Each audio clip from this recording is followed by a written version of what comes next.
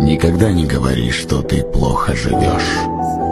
Бог услышит твои слова и скажет, ты не знаешь, что такое плохая жизнь, и даст тебе судьбу во много раз худшую.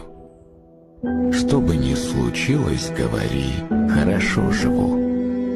Тогда Бог скажет, ты не знаешь, что такое жизнь, и даст тебе судьбу в десятки раз лучше.